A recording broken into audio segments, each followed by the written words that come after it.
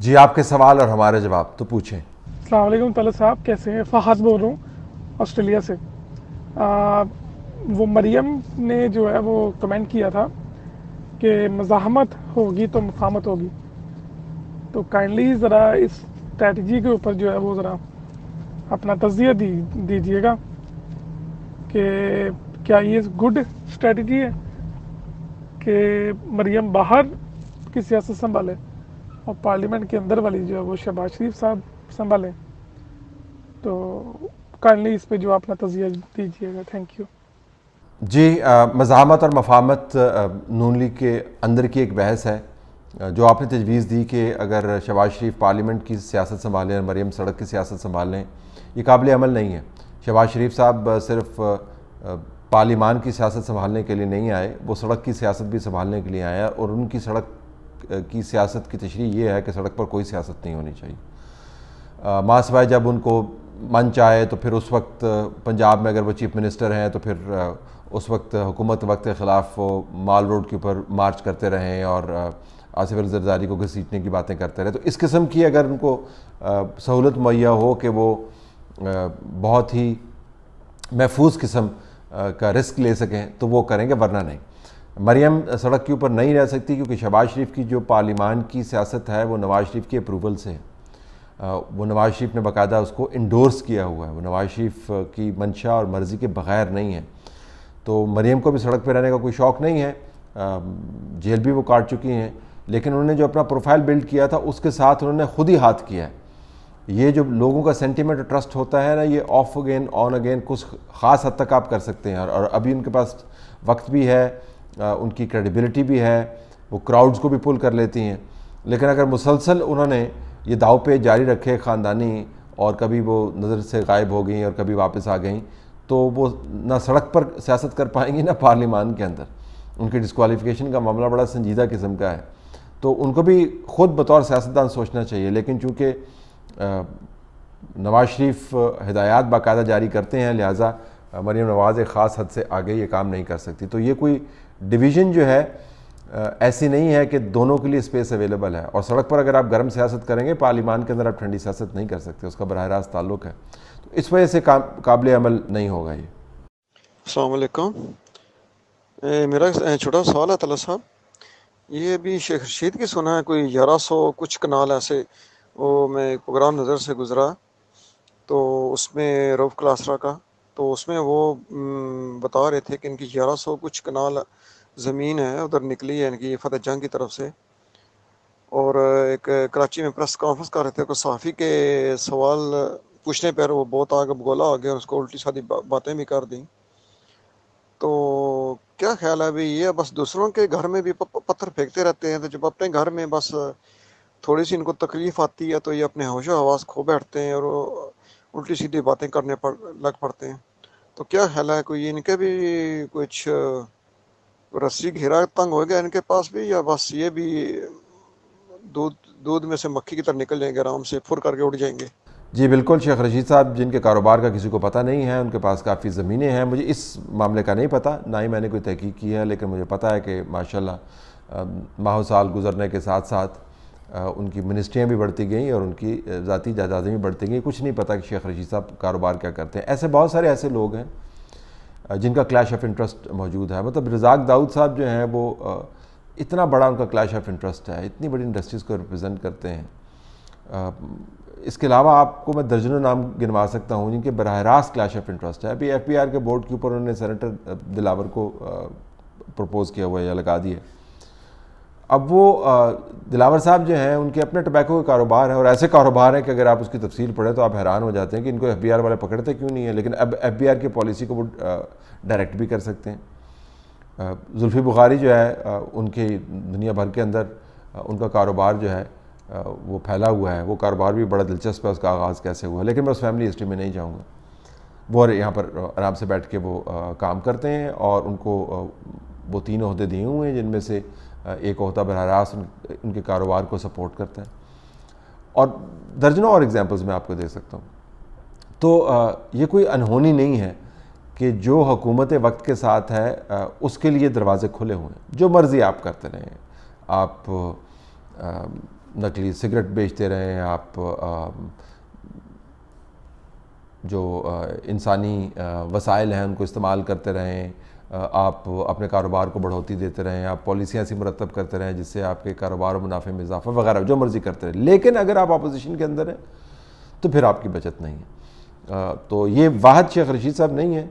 और इनसे पूछना भी चाहिए वैसे कि जनाब आप कारोबार क्या करते हैं? ये इतनी बड़ी बड़ी जायदादें जो हैं, सिर्फ़ इनसे नहीं, सबसे पूछना चाहिए, कहाँ से आई हैं आपके पास?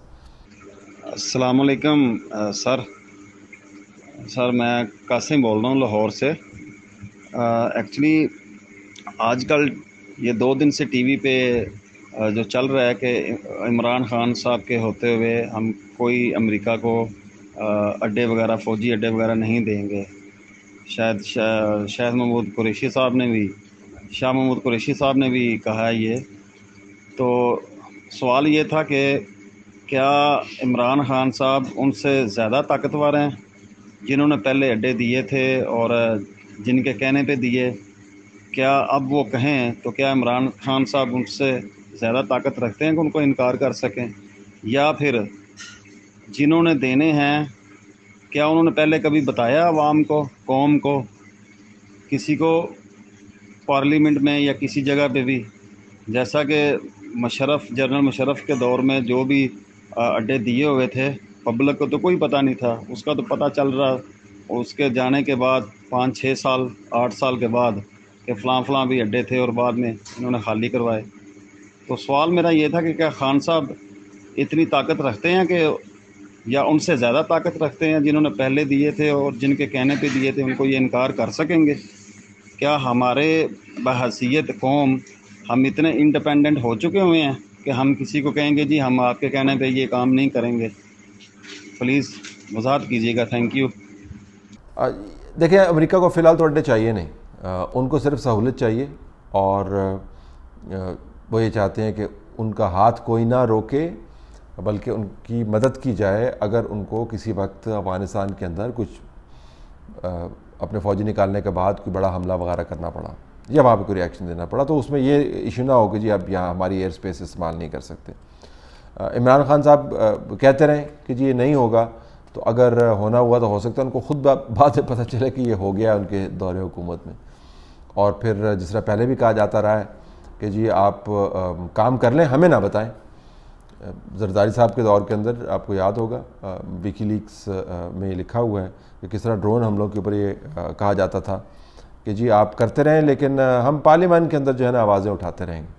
विकी लीक्स में लिखा हुआ तो ऐसा अरेंजमेंट बिल्कुल हो सकता है। इमरान खान साहब को वैसे भी कोई दिलचस्पी नहीं है खारजा अमूर के अंदर। कभी कभार कोई ट्वीट कर देते हैं, वरना वो इधर उधर दरख्तों के पीछे फिरते रहते हैं और फिर ये लंगर खाने जो हैं वो उनका इजरा करते रहते हैं और कभी उधर दरख्त लगा दिया, तकरीरें करने का उनको बहुत शौक़ है। वो ये काम करते हैं, लेकिन असल मामला जो हैं कि अमेरिका के साथ में क्या ताल्लुक बना के रखे हुए हैं, किन बुनियादों पर बना के रखे हुए हैं, क्या कंडीशन हमने दी हैं, उसका उनको इल्म नहीं है। तो हो सकता है बाद में जब अड्डों की बात हो और कुछ ऐसे मामला सामने आए जिसके ऊपर एतराज़ बनते हों तो वो कहें जी मुझे तो पता ही नहीं था। और जैसे उनको ये पता नहीं होता कि वो प्राइम मिनिस्टर हैं उनकी जोजा मोहतरमा को बताना पड़ता है प्राइम मिनिस्टर आप ये काम करें। रुपया ऊपर नीचे हो, होता है उनको पता नहीं चलता। हिंदुस्तान के साथ ट्रेड का मामला होता है उनको पता नहीं चलता। उनको पता नहीं चलता। तो पता ना चलता चलने वाली जो पॉलिसी है वो अपना सकते हैं। और कहें जी कि अगर मेरे बस में होता तो मैं ये ना होने देता लेकिन मुझे किसी ने बताया ही नहीं। अस्सलाम वालेकुम। तलर साहब, कैसी हैं? उम्मीद है खैरियत से होंगे। बस हामिद मीर साहब का प्रोग्राम बंद कर दिया गया। जैसा कि हम एक्सपेक्ट कर रहे थे, उससे पहले भी कुछ साथियों के साथ जो चीज़ें हुई हैं। तो अब बात यह है कि एक इंडिविजुअल एक नहत्ता आदमी और दूसरी तरफ़ इतना बड़ा इदारा और फोर्स और पूरी स्टेब्लिशमेंट या पूरा कह लें कि स्टेट तो जो बड़ा होता है ना, उसको बहुत अपनी बड़ाई दिखानी होती है। तरीके से जो परवाह नहीं करनी चाहिए ऐसी चीज़ों की। आप एक हाथी अगर एक चूहे को उठा के परे फेंक दे तो देखने वाला क्या करेगा? चूहे से ही हमदर्दी करेगा। हाथी से तो नहीं। मुझे हेमिंग का नोबल प्राइज़ विनर नॉवल याद आ गया old man and the sea जिसका एक डायलॉग है man can be destroyed not defeated क्योंकि आप हर एक से लड़ नहीं सकते ना। तो दूसरा आपको तबाह कर सकता है आपसे पावरफुल हो तो लेकिन डिफीट तो नहीं कर सकता ना। वो तो विन विन विक्ट्री तो उसकी हो गई। क्योंकि या तो तक उसको डरा के माफ़ी मंगवा लेते। जी, बिल्कुल आपने ठीक कहा, जब इस तरह के वाक़ात होते हैं और मैंने जो एस किया पिछले दिनों, उसके अंदर ये मैंने इशू रेज़ किया कि बहुत सारे ऐसे अफराद हैं, बहुत सारे ऐसे उनके तजिए हैं जो बैन अवी तौर पर कभी किसी ने देखे भी नहीं होंगे। हमने अंदर खाने रहते वो तजिए नहीं देखे, लेकिन जब आप उन लोगों को ख़बर बना देते हैं या वो लोग ख़बर बन जाते हैं किसी भी वजह से तो फिर उनसे मतलब तमाम की तमाम चीज़ें जो हैं वो बैन अवी तौर पर सर्कुलेट करती हैं और फिर हमदर्दियाँ भी उनकी तरफ़ शिफ्ट कर जाती हैं। और इस केस में तो हमदर्दियाँ शिफ्ट करनी चाहिए कि अगर वाक़ता कोई बड़ी ब्रीच हुई है तो उसका उसका एक तरीक़ाकार है जिसके ज़रिए आपने उसको एड्रेस करना। और किसी के कहने से ये मुल्क कैसे कॉम्प्रोमाइज़ हो जाता है? किसी के कहने से किसी की जो इदारे की कोई कोई तोकीर है, उसमें कैसे कमी आ सकती है? अल्फाज जो हैं, वो लोगों को कैसे गिरा सकते हैं? और बिलखसूस जब अल्फाज जो हैं, वो बसा अवकात मुबहम अंदाज से अदा किए जा रहे हों। तो मुझे ख़ुद भी इसकी कभी समझ नहीं आई कि जो तरीक़ाकार हमने पॉलिसी के अंदर एक उसको गूंद दिया है उस तरीक़ाकार को कि हर मामले को आप, आपने रिएक्ट करनी है करना है और ज़ाती ईगो का इशू बना लेना है और फिर पिट, पिटाई और लड़ाई कभी इसका कोई नतीजा ताकतवर के लिए अच्छा नहीं निकला। लेकिन ये किसी को बात समझ नहीं आती ताकत में होता है वो समझता है अगले कुल भी है तो नतज तो फिर भयानक निकल नहीं है। तलत साहब मेरा सवाल ये है कि वज़ी अजम साहब अब टी वी पर आते हैं और काफ़ी अरसे से आ रहे हैं और वहाँ पर लाइव कॉल्स का सिलसिला होता है। एक मैराथन सीरीज़ चलती है और काफ़ी देर रहते हैं। आ, मैं सिर्फ़ ये जानना चाहता हूँ कि ये आ, एक जो पॉलिसी है या ये जो मेथडोलॉजी है ये किस हद तक कामयाब है? इससे पहले हमारे कोई कोई हुक्मरान ऐसे थे जो ये करते रहे उसका कोई फ़ायदा हुआ? या हमारे हमसाया ममालिक में या किसी भी कामयाब मुल्क में वज़ी अजम का टी वी पर आना, बहुत सी कॉल्स लेना और किस हद तक कॉल्स ओरिजिनल होती हैं फैब्रिकेटेड होती हैं, इसके क्या चांसेस हैं? और इसका कोई इतना टाइम देना, इसका कोई प्रैक्टिकल फ़ायदा हुआ भी है पास्ट में, किसी मुल्क में, किसी जगह पे या अपने ही मुल्क में इसको ज़रूर बताइएगा। जी हाँ इमरान खान साहब ने ये पहले नहीं है, नवाज़ शरीफ इससे पहले करते रहे और ऑफ़िस से बैठ के कॉलेज लेते थे और बहर रास्त ऑर्डर जारी करते होते थे। ये बिल्कुल मौसर तरीका नहीं है। आप जो मॉडर्न स्टेट क्राफ्ट है उसको अगर आप देखें अगर आप मॉडर्न गवर्नेंस के मॉडल्स को देखें तो बरह रास्त आप उन लोगों से बात करते हैं जो महदूद होते हैं। यानी डिप्लोमेसी के अंदर तो स्टेट क्राफ्ट के अंदर तो आप बरह रास्त अगर बात करें ट्वीट ट्विटर के ज़रिए तो वो ज़्यादा मौसर हो सकता है। लेकिन यहाँ पर आप लाखों, करोड़ों लोगों की किस्मतों के फैसले कर रहे हैं, वहाँ पर आप कॉल्स के ज़रिए नहीं कर सकते। वो इंडिविजुअल केसेस हैं। फिर आपको ये भी सोचना होगा कि इंडिविजुअल केसेस जो हैं, ये टॉप लेवल के ऊपर पहुँच कैसे जाते हैं? इससे मुराद ये कि आपका नीचे वाला निज़ाम जो है, वो मुकम्मल तौर पर गैर मौसर है। तो जिस तरह हमने सफारतकारी में एक बरह रास्त अनसर लाने की कोशिश की है, वो भी इतना कामयाब नहीं हुआ कि ट्विटर के ज़रिए पॉलिसी जारी कर दें और हम स्पेशल मिस्त्री भिजवा दें, वो महदूद हद तक लोगों के साथ इंटरेक्ट जब आप करते हैं तो उसमें मौसर होता है। लेकिन गवर्नेंस के मॉडल को अगर आप देखें तो ये बहुत अच्छा मॉडल नहीं है। लोग इससे खुश नहीं होते। आप ये कह सकते हैं कि जिनके मसले हल होते हैं, वो तो खुश होते होंगे, लेकिन उनके मसले हल, बिल्कुल वो खुश होते होंगे। लेकिन उनके मसले, मसलों को हल होने के लिए वज़ी अजम का एक्शन ज़रूरी नहीं है। वो तो मुकामी लेवल के ऊपर आपने गवर्नेंस के ज़रिए लोगों के मसाइल को हल करना है, जहाँ पर एक मसला नहीं है, लाखों के तादाद में मसले हैं। तो आप टेलीफोन कॉल्स के ज़रिए कितने मसाइल का हल कर पाएँगे? तो क्या आप इसी में खुश होंगे? ये कोई चैरिटी ऑफ़िस तो है नहीं तो पोलिटिकल ऑफ़िस है।